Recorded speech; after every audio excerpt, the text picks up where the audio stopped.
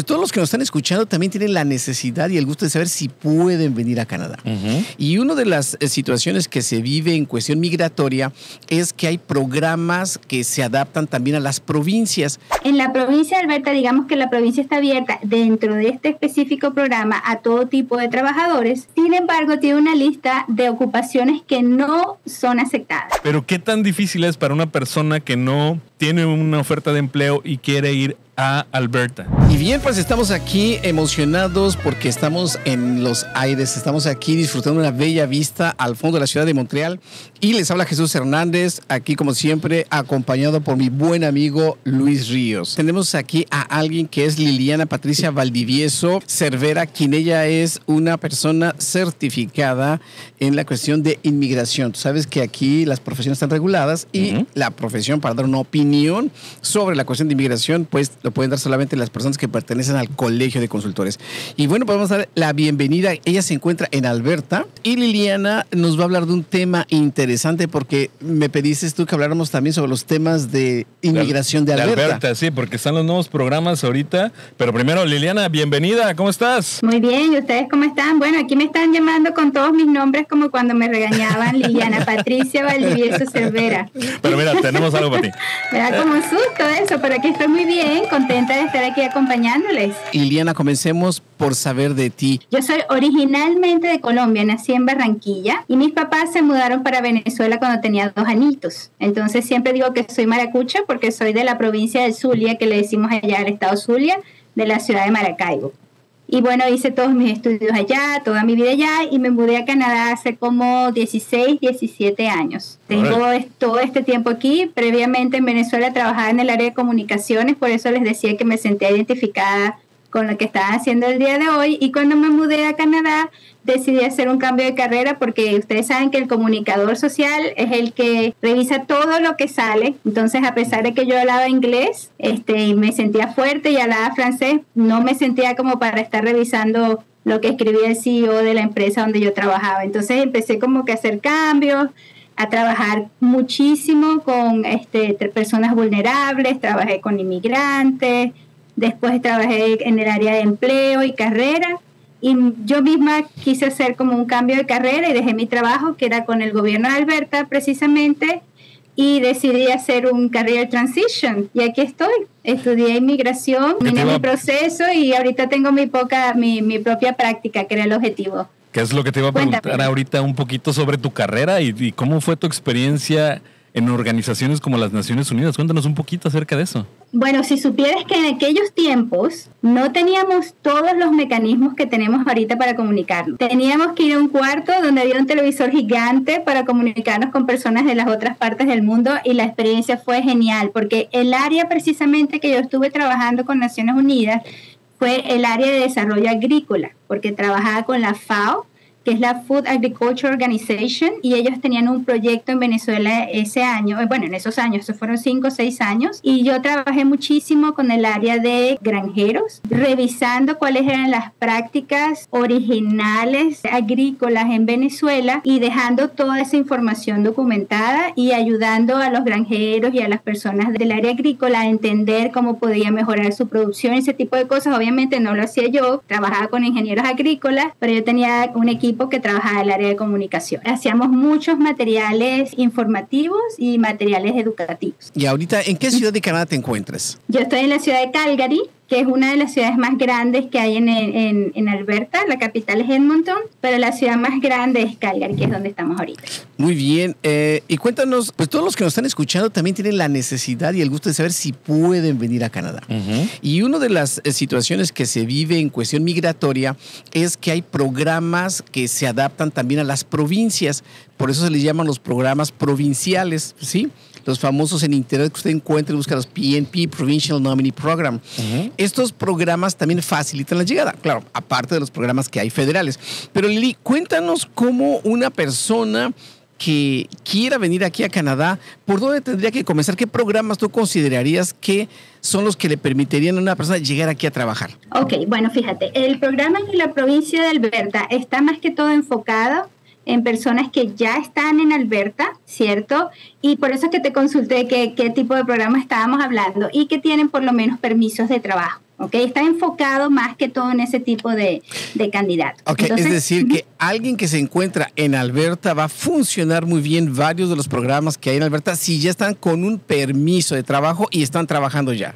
Así es. Entonces, Exactamente. había que pensar, entonces, comenzar porque las personas consigan un empleador para, para, que los contrate y entren en los programas de Alberta. Ahora sí, dinos, ¿qué programas tiene Alberta una vez que estás aquí trabajando? Perfecto, fíjate, el programa principal que tiene el PNP de Alberta se llama Alberta Advantage y está dividido en los programas para los trabajadores y los programas para los empresarios. Desde mi punto de vista, los programas para los trabajadores son los más fuertes porque de hecho cuando ves las alocaciones, que sabes que es la cantidad de cupos que tiene Alberta, para recibir este, personas este, extranjeras no es tan fuerte como para los trabajadores. Entonces, dentro de los trabajadores hay como tres posibles vertientes. ¿okay? Uno se llama el Alberta Opportunity Stream, que es más que todo para personas que, como estábamos diciendo, ya viven y trabajan en Alberta, ¿cierto? Y que tienen una oferta de empleo puede ser que ya estén trabajando, pero que también tengan una oferta de empleo de al menos 12 meses. También existe la posibilidad que para la provincia de Alberta también es importante apoyar a las personas que vinieron a estudiar Alberta. Dentro de este tipo de programa, una de las cosas que se toma en cuenta son las personas que estuvieron aquí como estudiantes internacionales y que tienen por lo menos dos años de estudio en la provincia de Alberta y que la ocupación que en este momento están ejerciendo está relacionada con la, la ocupación que estuvieron en la universidad o en el college. O sea que tiene que haber una, una relación. más importante. Exactamente, tiene que haber en la cuestión de un trabajador una oferta de empleo que esté vigente, que esté válida, y para los estudiantes que trabajen en su área relacionada. Todas las provincias tienen una necesidad particular y eso se va adaptando los gobiernos provinciales para hacer sus diferentes programas. Oye, ¿y eh, qué tipo de trabajadores son los que suelen ser buscados en los empleos de allá de, Alberta? Más o menos los perfiles. Aquí en, en Canadá organizamos los tipos de trabajo por algo que le decimos NOF, que ahorita le decimos TIR también entonces quiere decir trabajadores calificados y trabajadores no calificados. En la provincia de Alberta, digamos que la provincia está abierta dentro de este específico programa a todo tipo de trabajadores. Sin embargo, tiene una lista de ocupaciones que no son aceptadas. Entonces, entre esas ocupaciones yo estuve revisando para tener una idea más o menos, por ejemplo, fíjate, los bomberos, ¿cierto? No están entre las este, ocupaciones que están aceptadas en Alberta, los maestros de escuela, los artistas plásticos, atletas, taxistas, niñeras, ese tipo de ocupaciones en este momento, porque eso puede cambiar, ¿cierto? En este momento, dentro de ese tipo de programa, es un tipo de, ocupación a las que no podemos aplicar. Pero en líneas generales, digamos que está abierta a cualquier tipo de ocupación de trabajadores calificados y no calificados. Pero tienen como algún perfil, o sea, por ejemplo, ¿cuál es la, el empleo más demandado en Alberta? Entonces, digamos, la parte agrícola es súper importante para Alberta, la parte de tecnología es súper importante para Alberta, la parte de salud es importante para Alberta.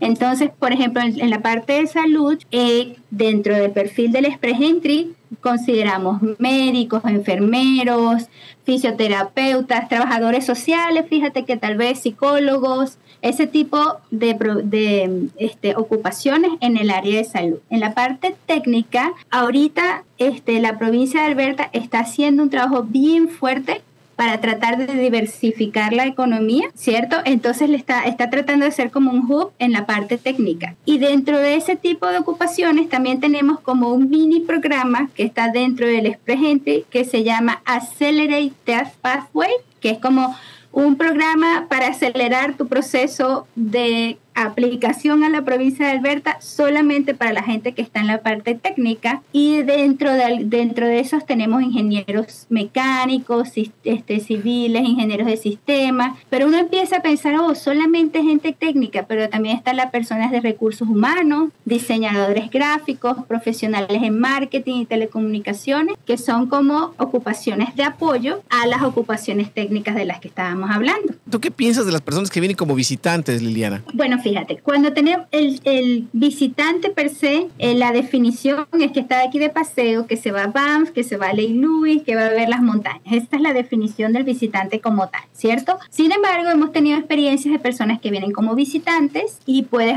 esto no sería específicamente de la provincia de Alberta, pero en algunos, algunos tipos de países tenemos tratados de libre comercio, ¿cierto? Entonces, si la persona llega a recibir una oferta de un trabajador genuino aquí, que de verdad tenga un empleo para esta persona, a veces revisamos los tratados de libre comercio y esta persona puede hacer una aplicación de permiso de trabajo. En este momento lo puedes hacer dentro, dentro de Canadá. Pero si linkeamos esto con lo que estabas hablando de la parte rural, aquí en Alberta tenemos un programa muy bonito que es como un programa para desarrollo de las pequeñas comunidades satélites que están cerca de, de las comunidades, de las ciudades más grandes, ¿cierto? Como Edmonton, Calgary. Y este programa está buscando ayudar a comunidades que tengan asentamientos de personas de menos de 100 mil personas, o sea, un pequeñito. En este momento tenemos 28 comunidades que están abiertas a recibir personas y estas comunidades hicieron un proceso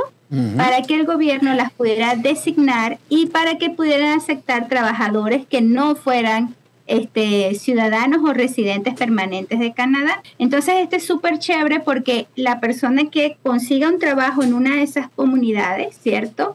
que hay comunidades más chiquiticas como Sylvan Lake, Brooks, pero hay unas más grandes como Lethbridge, que tiene una, una universidad bien, este, eh, bien reconocida aquí en Alberta, estas personas, estas comunidades hicieron como un proceso para ser designadas y los empleadores postean en, las, en sus páginas web de estas comunidades, postean las posiciones que tienen disponibles. ¿Cuál es la diferencia que podríamos hablarle entre el Alberta Immigration Nominee Program y el Alberta Advantage Immigration Program, el AINP o el AAIP? Es el nuevo nombre. El Alberta Advantage es el nuevo nombre del programa y está dividido en tres streams, en tres categorías. Uno es el Alberta Opportunity Stream, que es la primera de la que estábamos hablando. ¿Se acuerdan que dijimos personas que ya están en Alberta, que están trabajando en Alberta, que tienen una oferta de empleo en Alberta? Esas personas, ellos van a presentar su candidatura al gobierno de Alberta y decirles, yo estoy expresando mi interés para quedarme a vivir en esta provincia.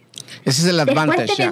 que es el que está ahorita, ¿no? El Advantage que está nuevo, ¿no? ¿Cuál es el que está ahorita nuevo? ¿El Advantage o el, o el, o el Opportunity? Ahorita se llama Alberta Advantage, es el título.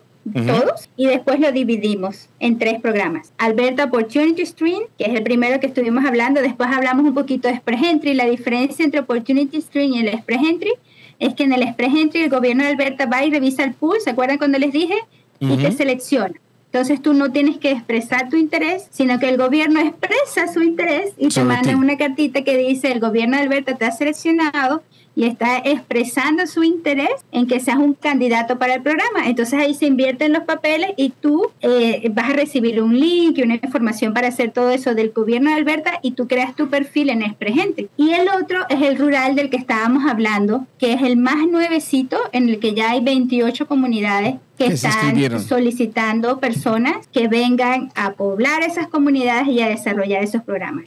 Entonces, digamos que son un programa grandotote que es el Alberta Advantage y se divide en tres programas muy relacionados con la parte económica. Están muy desarrollados con el labor market, relacionados con el labor market y el desarrollo de la economía en la provincia de Alberta. También tenemos programas para emprendedores. Entonces, Alberta está buscando trabajadores que vayan a trabajar con una oferta de empleo, pero es complicado emigrar a través de otros programas si estás fuera de la provincia. Los programas de migración están hechos para que la gente que está al interior de la provincia se quede a vivir ahí. Pero qué tan difícil es para una persona que no tiene una oferta de empleo y quiere ir Alberta. ¿Cómo podría ser? ¿A través del estudio? ¿A través del Express Entry? Y volverte residente permanente. Yo creo que una de las vías más eh, expeditas es la que mencionaste, es venir a estudiar Alberta. Porque como comentamos al principio, los programas de la provincia de Alberta, entre los factores claves que tienen, es que hayas estudiado en Alberta, y que estés ejerciendo una ocupación que esté relacionada con lo que estudiaste en la escuela de Alberta. ¿Cierto? Y si pensamos en, el, en lo que me estás diciendo, las residencias permanentes, Pues obviamente cuando termines tu programa tienes tu eh, permiso de trabajo, que le decimos el permiso de, de trabajo del